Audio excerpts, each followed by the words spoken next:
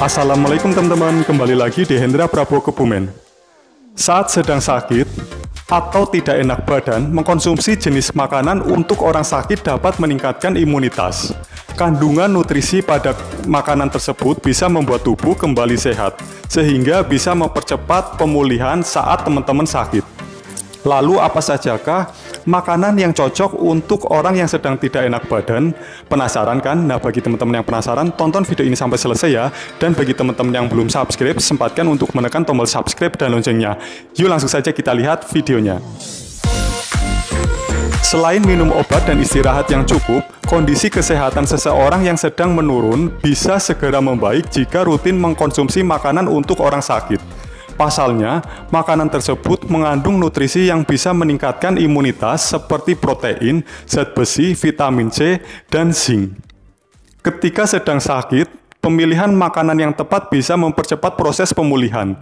Oleh karena itu, orang yang sedang sakit tidak boleh asal dalam mengkonsumsi makanan atau minuman tertentu. Nah, agar tidak bingung, berikut ini adalah beragam pilihan makanan untuk orang sakit. Yang pertama, bubur ayam. Bubur yang paling sering diberikan untuk orang sakit adalah bubur ayam. Bubur ini terdiri dari beras yang sudah dimasak sampai teksturnya lembek, suiran daging ayam, daun seledri, kuah kaldu, dan kecap manis. Karena berbahan dasar beras, bubur ini mengandung karbohidrat yang bermanfaat sebagai sumber energi untuk orang sakit. Selain itu, kandungan protein pada daging ayam pun bisa meningkatkan imunitas tubuh karena mampu memperbaiki jaringan dan organ tubuh yang rusak. Tidak hanya itu saja, kandungan nutrisi di dalam daun seledri yang sering menjadi campuran dalam bubur ayam pun diketahui mengandung antioksidan yang bisa mengurangi peradangan pada tubuh. Ditambah lagi ada kecap manis dan kuah kaldu gurih yang bisa meningkatkan cita rasa sehingga orang yang sedang sakit bisa lahap menikmati bubur ini. Bubur ayam cocok untuk beberapa kondisi seperti flu, sakit tenggorokan, bahkan sakit gigi. Yang kedua, bubur kacang hijau. Makanan untuk orang sakit selanjutnya adalah bubur kacang hijau. Berbeda dengan bubur ayam, bubur jenis ini biasanya memiliki rasa manis dan gurih karena terdapat campuran sedikit gula dan santan kelapa. Bubur kacang hijau mengandung sejumlah nutrisi penting yang bisa meningkatkan daya tahan tubuh, seperti protein, antioksidan, dan selenium, zinc, dan zat besi. Kandungan karbohidrat kompleks pada bubur ini juga bermanfaat untuk meningkatkan stamina tubuh. Bubur kacang hijau bisa dikonsumsi di segala kondisi, bahkan orang yang sedang mengalami sembelit pun cocok mengkonsumsi bubur ini, karena mengandung serat tinggi yang bisa melancarkan BAB. Yang ketiga, sup. Sup juga termasuk dalam pilihan makanan untuk orang sakit. Sup umumnya terbuat dari beragam jenis makanan yang merupakan sumber protein seperti ikan, udang, ayam, atau daging.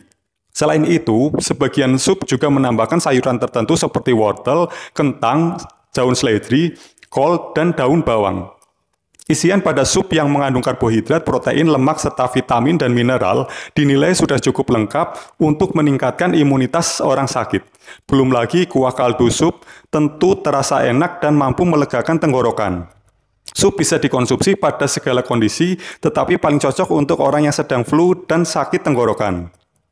Yang keempat, oatmeal. Oatmeal memang lebih sering dikonsumsi oleh pelaku diet. Namun jangan salah, jenis makanan satu ini juga masuk dalam pilihan makanan untuk orang sakit.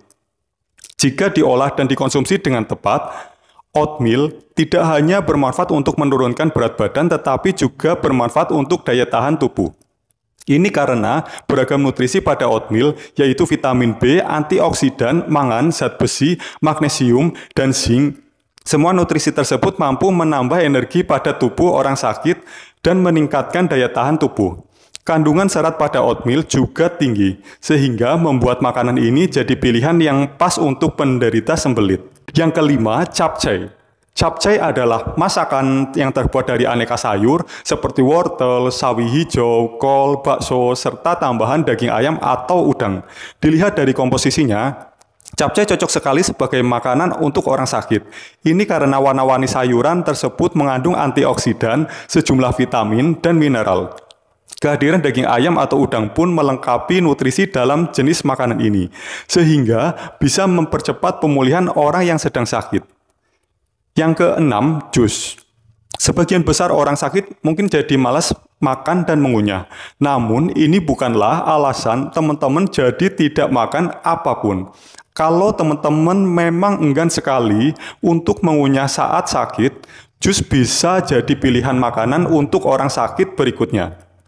Jus bisa terbuat dari aneka sayur dan buah berwarna-warni yang membuatnya jadi menu makanan yang kaya cairan dan mengandung antioksidan, serat, vitamin, serta mineral. Makanan ini cocok dikonsumsi dalam segala kondisi. Namun, agar lebih sehat, hindari menambahkan gula pada makanan ini. Dan yang terakhir atau ketujuh yaitu telur rebus.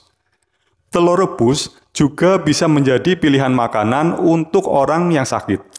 Ada banyak nutrisi yang terdapat pada telur rebus yakni protein, karbohidrat, lemak, kalsium, zat besi, glutein, vitamin A, dan vitamin D, serta mineral. Lengkapnya, gizi yang terdapat pada telur rebus mampu mengembalikan kondisi tubuh jadi lebih bugar. Telur rebus bisa dikonsumsi oleh siapa saja yang sedang sakit. Namun, bagi teman-teman yang memiliki riwayat kolesterol tinggi, mungkin perlu membatasi jumlah konsumsi harian telur rebus atau tanyakan terlebih dahulu kepada dokter sebelum mengkonsumsinya.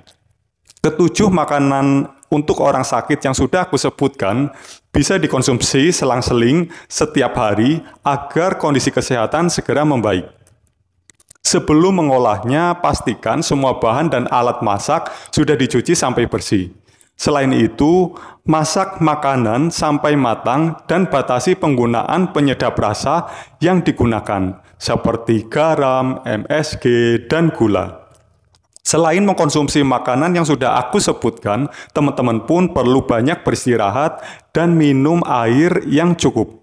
Jangan lupa juga untuk rutin minum obat sesuai resep yang diberikan oleh dokter, dan kontrol kondisi kesehatan sesuai jadwal yang ditentukan oleh dokter. Oke, seperti itu saja pembahasan 7 menu makanan untuk orang sakit. Bagi teman-teman yang masih memiliki pertanyaan, silakan bisa tuliskan di kolom komentar. Terima kasih sudah menyaksikan video ini sampai dengan selesai. Semoga teman-teman sehat selalu, always be happy, sampai jumpa dan have a nice day.